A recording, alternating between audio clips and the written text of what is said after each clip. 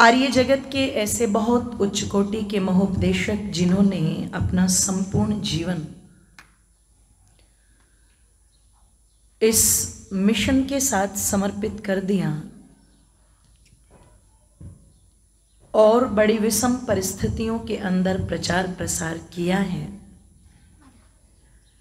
आज भी निरंतर उस प्रयास में आप लगे हैं। आदर और सम्मान, श्रद्धा के योग्य पितृतुल्य, आदरणीय श्री पंडित रामनिवास जी आर्य। उनके साथ में आए हुए उनके समस्त सहयोगी गण बहुत ही आदर और सम्मान, श्रद्धा के योग्य वाद्य यंत्र पर बहुत अच्छी संगति कर रहे हैं। आदरणीय भ्राता ब्रिजेश जी आदरणीय तनु जी। और ये बहुत ही व्यवस्थित आर्य समाज शेखपुरा खालसा, जिसके संरक्षक आदरणीय श्रद्धे डिप्टी डीओ श्री चौधरी राम सिंह जी, एवं बहुत ही आदर सम्मान श्रद्धा के योग्य आदरणीय बाबूजी श्री चौधरी कुलदीप सिंह जी, आर्य पूर्व चेयरमैन वन विभाग हरियाणा। प्रधान पद को सुशोभित करने वाले बहुत सरलता और सौम्यता की प्रतिमूर्ति आदरणीय बाबूजी श्री सुभाष जी आर्य और बहुत ही कर्मठ, बहुत ही सक्रिय हमारे मंत्री आदरणीय बड़े भ्राता श्री प्रमोद जी आर्य कोषाध्यक्ष श्री वतन जी आर्य हैं।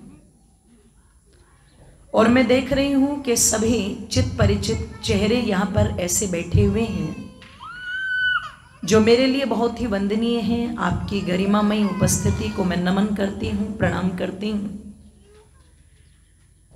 इस सारे के सारे कार्यक्रम को रिकॉर्डिंग कर, बड़े व्यवस्थित रूप से एडिट कर,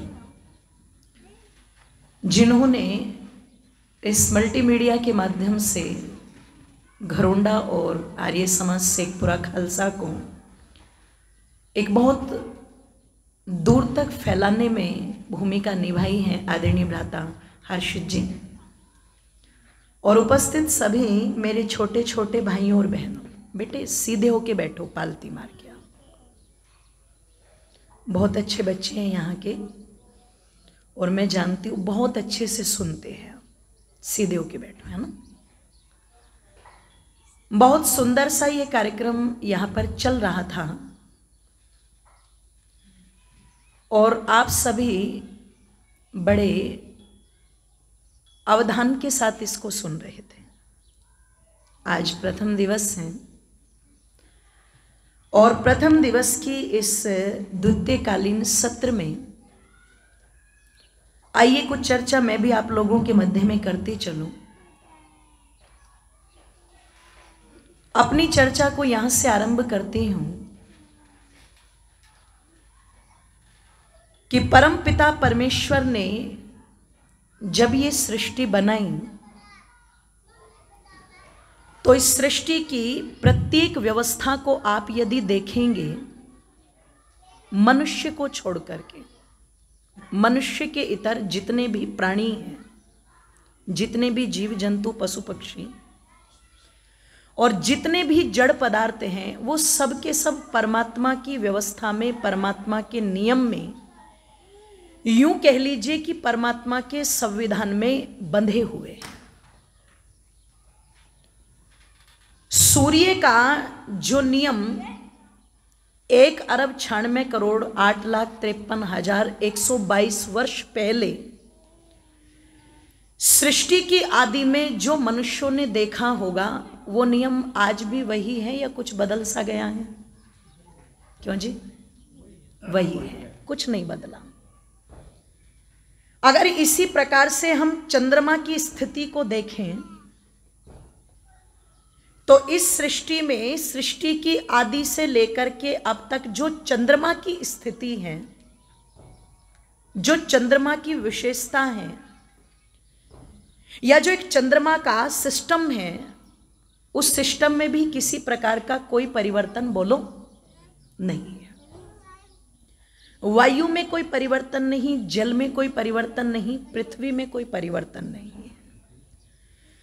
भौगोलिक परिस्थितियाँ कुछ बदलती रहती हैं, उसमें प्राकृतिक भी होता है और कुछ मनुष्य की भी अस्त व्यस्तताएँ होती है, जिसके कारण प्रकृति के अंदर कुछ ना कुछ बदलाव आता ही रहता है। जैसे, इन दिनों आप लोगों ने एक न्यूज़ सुनी होगी कि पृथ्वी जो है, पहले 24 घंटे में अपनी धुरी पर घूम करके एक चक्कर को पूरा करती थी।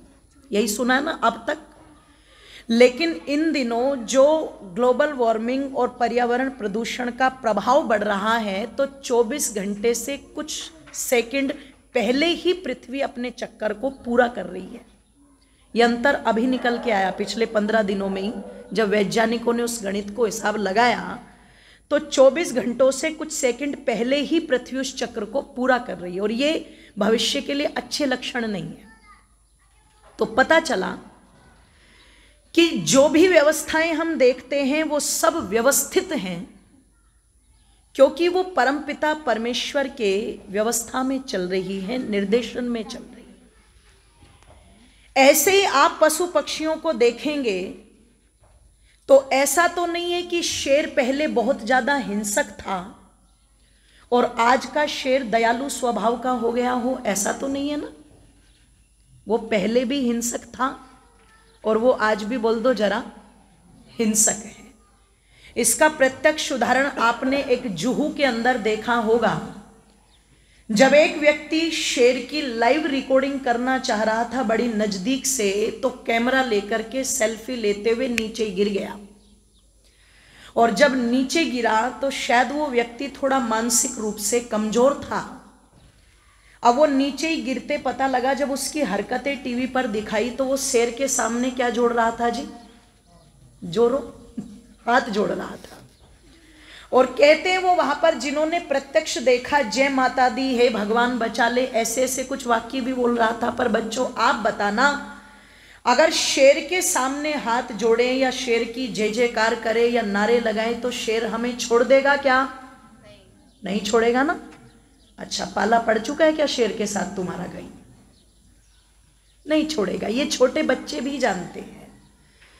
तो शेर के स्वभाव में भी कोई परिवर्तन नहीं आया पशु पक्षियों के खान पान में कोई परिवर्तन नहीं आया, उनकी क्रिया विधि में कोई परिवर्तन नहीं आया, क्योंकि वो सब परमात्मा की व्यवस्था में बंधे हुए हैं। पता चला इन जड़ पदार्थों को छोड़ करके, जितने भी प्राणी हैं, उनको छोड़ करके इस पूरी की पूरी सृष्टि में जो मनुष्य हैं, केवल यही ऐसा प्राणी है जिसको स्वतंत्रता मिली हुई है। बहुत ध्यान से सुनना और जुड़ने की कोशिश करना। इसको कर्म करने की भी स्वतंत्रता परमात्मा ने दी है, इसको सोचने की भी स्वतंत्रता परमात्मा ने दी है, इसको चिंतन मंथन करने की भी स्वतंत्रता परमात्मा ने दी है। और आजकल जो भारत के अंदर सबसे ज़्यादा ट्रेंड चल रहा है अभिव्यक्ति की आज़ादी, माने के बोलने की भी स्वतंत्रता इसको परमात्मा ने दी है। इसलिए अक्सर लोगों की जो वाणी है, आज वो वाणी इतनी दूषित हो चुकी है। कि एक समय व्यक्ति जब बोलता था बंधुओं तो कहते, पहले तोलता था और फिर शब्दों को बोल दो जरा। आज तोलने की फुर्सत किसी के पास नहीं है। आज घर में अगर बच्चे बोलते हैं तो बच्चे ये विचार नहीं करते कि जो शब्द हम बोल रहे हैं, हमारे पिता पर इसका क्या प्रभाव पड़ेगा? आज बच्चे जो पलट करके माता पिता को प्रत्युत्तर देते हैं, वो एक बार भी ये विचार नहीं करते कि हमारी माँ पर इसका क्या प्रभाव पड़ेगा। विद्यालय के अंदर अध्यापक के सामने जो बच्चे बोलते हैं, वो नहीं सोचते कि इन वाक्यों का हमारे अध्यापक पर क्या प्रभाव पड़ेगा। गलियों से निकलती हुई लड़कियों को देख करके जिन अपशब्दों का प्रयोग किया जाता है, युवा ये नहीं सोचते कि इन शब्दों का प्रभाव क्या पड़ेगा। इसी प्रकार से चाहे धार्मिक क्षेत्र हो, चाहे राजनीतिक क्षेत्र हो, चाहे सामाजिक क्षेत्र हो, अभिव्यक्ति की आज़ादी क्या संविधान में धारा क्या बना दी? लोगों ने सोचा, जितना गाली गलोच देंगे, शायद उतनी हमारी, बोलो, ज़्यादा वाही वाही होगी। इसलिए मैं देखती हूँ, जब एक समय पिक्चरें बनती थी, डायलॉग डिलीवरी होती थी तो लता मंगेशकर बताती हैं मैं महाराष्ट्र की थी, लेकिन मैंने अरबी को भी सीखा, मैंने फारसी को भी सीखा, मैंने संस्कृत को भी सीखा, मैंने हिंदी को भी सीखा। क्यों सीखा? कि कहीं भी कोई शब्द का उच्चारण जो है वो मुझसे गलत बोलो ना हो जाए। आप पुरानी पिक्चरें देखो, वहाँ पर गाली नहीं मिलेंगी आपको। आप शब्द नहीं मिलेंगे। पर जिस कोरोना काल की लॉकडाउन की बात चल रही थी, मैं निवेदन कर दूँ, इसमें वेब सीरीज़ का एक नया चलन चला। और जो हमारे समझदार यहाँ पर बैठे हैं, आर्यजन, शायद उनके देखने में ना आई हो, पर युवा पीढ़ी कोई ऐसी नहीं होगी जिसने उन वेब सीरीज़ को न देखा हो। और आपने अगर वो वेब सीरीज़ नहीं देखी तो आप अक्सर जब यूट्यूब खोलते हो तो एडवर्टाइज के बहाने इतना प्रचार प्रसार तो उनका हो ही जाता है कि उनकी जो क्लिपिंग है, उनका जो ट्रीजर है, उनका जो ट्रेलर है, ध्यान रखिएगा, वो ट्रेलर वो ट्रीजर आपको मुफ़्त में न चाहते हुए भी वो लोग दिखा देते हैं। अब आप चिंतन करना, विचार करना, वो जितनी भी सीरीज़ बन करके आई, एक आम व्यक्ति भी उन गालियों को देने से पहले सो बार सोचेगा, ये गाली मैं दूँ या न दूँ। वो गाली वहाँ पर पैसे दे करके उन लोगों से बुलवाई जा रही है जिनको बोलने में उसको झिझक होती होगी। पर डायरेक्टर की डिमांड है, निर्देशक का कहना है, मानना पड़ेगा क्योंकि उनका धंधा ही वही है, इसलिए वो गाली गलोचों से भरी पड़ी है। इसलिए वो गाली गलोचों से भरी पड़ी है। और युवाओं ने उसको फ़ैशन मान लिया। इसलिए आजकल युवा सामान्य रूप में भी जब कभी आप उनको बात करते हुए देखेंगे ना आपस में तो गालियाँ एक दूसरे को दे दे करके बात करते और युवाओं की तो छोड़ देना। मुझे बड़े दुख के साथ ये कहना पड़ रहा है, कभी कॉलेज में पढ़ने वाली लड़कियों की भी बातों पर कान लगाओगे? तो आपको लड़कियों के मुँह से भी वही गालियाँ हँसी मज़ाक में सुनने को मिलेगी, जिसके लोगों ने फ़ैशन मान लिया, ट्रेंड मान लिया। ध्यान रखना। आप विचार करना। जानते हो क्यों? क्योंकि ये सब अभिव्यक्ति की आज़ादी के नाम पर गंदगी चल रही है। एक शब्द है स्वतंत्रता और एक शब्द है स्वच्छंदता। दोनों में इतना ही अंतर होता है जितना अंतर धरती और बोल दो जरा आकाश में होता है। इतना ही अंतर होता है, पर उस अंतर को समझने वाले समझ नहीं पाए, क्योंकि पढ़ा नहीं, स्वाध्याय नहीं, चिंतन नहीं, मंथन नहीं। तो लोगों ने कहा, यहाँ पर बोलने की आज़ादी है, यहाँ पर सोचने की आज़ादी है, यहाँ पर चिंतन और मंथन करने की आज़ादी है, यहाँ पर कर्म करने की आज़ादी है। अगर परमात्मा ने स्वतंत्रता दे करके भेजा है तो इसका पूरा लाभ उठाओ।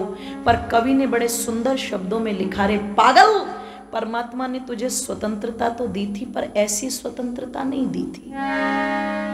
कैसी स्वतंत्रता? कि संसार में आके?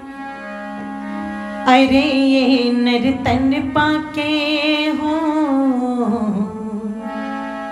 संसार में आके। अरे ये नर्तन पाके शुभ कामना संसार में आके। अरे ये निर्तन पाके, ओ संसार में आके।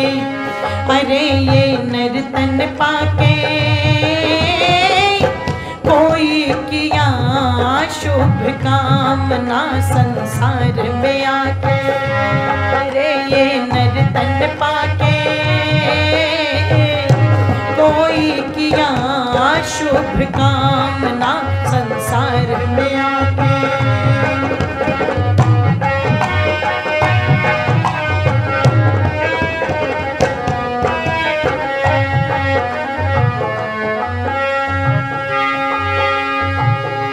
मानव का चोला बड़ी मुश्किल से पाया है।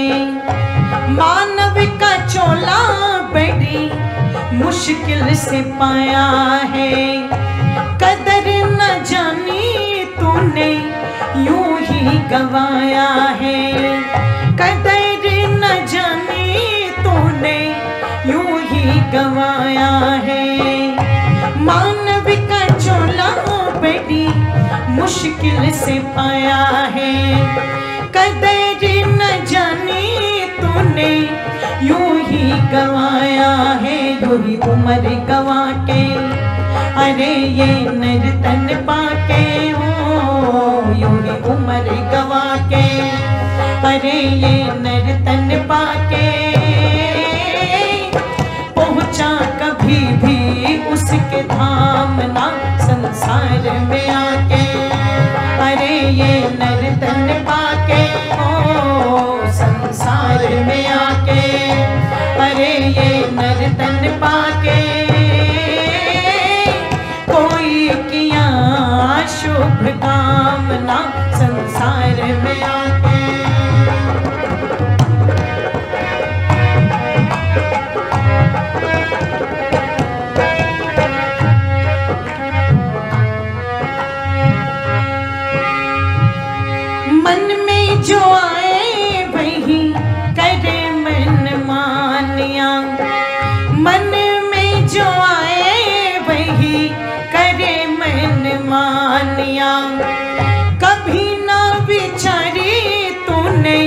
लाभ और हानिया।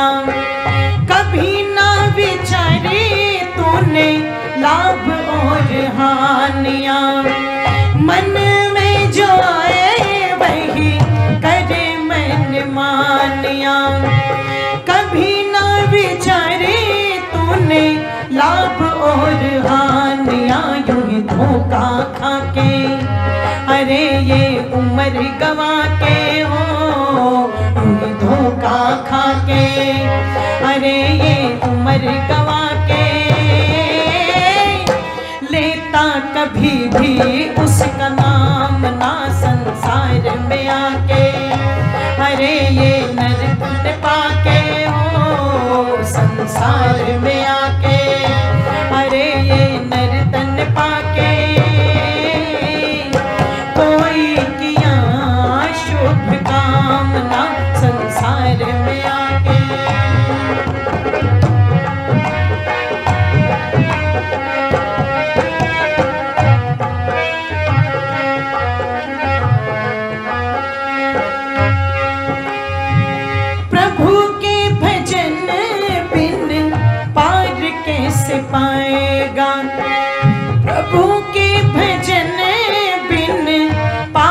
कैसे पाएगा? यूँ ही मझधार में तू नाव को डुबाएगा। यूँ ही मझधार में तू नाव को डुबाएगा। प्रभु के भजन बिन पार कैसे पाएगा?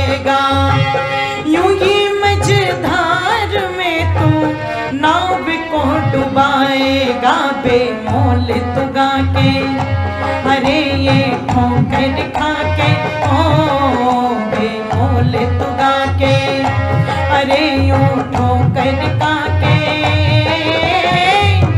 पहुँचा कभी भी उसके धाम ना संसार में आके। अरे ये नरतन पाके, ओ संसार में आके, अरे ये नर तन पाके।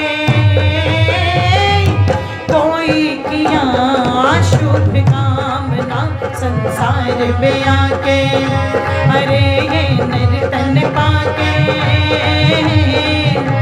कोई किया